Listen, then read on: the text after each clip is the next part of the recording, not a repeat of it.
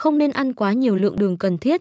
Tinh bột chứa trong các loại lương thực đều có mang theo một lượng đường lớn, suất ăn cơm mì hàng ngày đã cung cấp số lượng đường cần thiết trong cơ thể nên không phải bổ sung thêm. Tuy nhiên, ăn thêm lượng đường vừa phải cũng có thể vô hại, nếu ăn quá nhiều là không nên. Đường là loại thức ăn không chứa chất canxi, cơ thể bình thường của con người cần duy trì tính canxi yếu với mức độ nhất định.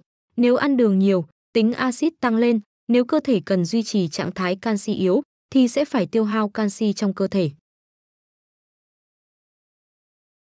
Như vậy thường xuyên ăn nhiều đường sẽ ảnh hưởng đến sự phát triển xương. Cho nên, trẻ em và thanh thiếu niên đang trong giai đoạn phát triển, chú ý tránh ăn nhiều đường. Đối với thanh niên hoặc người già, sẽ dẫn đến bệnh đái tháo đường và sơ cứng mạch máu. Nên lưu ý không nên ăn đường vào những thời gian sau.